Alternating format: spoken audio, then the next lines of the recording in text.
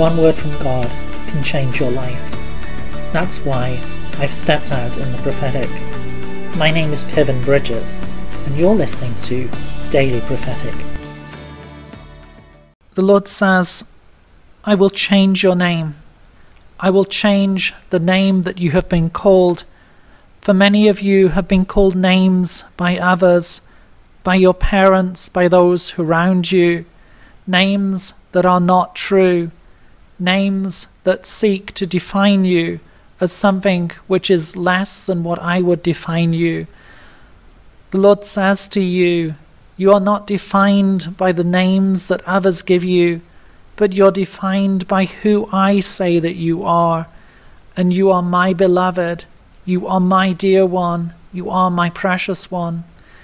I see a street sign with a new name.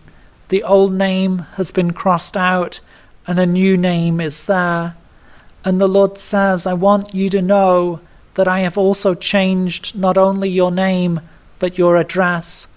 For your address, the place of residence for you is heaven. I am the one who has changed not only your name, but where you live. For your home address is now heaven. Come and see. I am with you. I am blessing you. And I am redefining who you are, redefining you as my son, as my daughter, as my beloved. Draw close to me this day. Draw close and know that I love you. Would you like a personal prophetic word? Check out the website in the description below. Don't forget to subscribe to get your daily word of encouragement. And whilst you're here, why not have a look at some other of the videos that I've made? God bless you and have a really great day.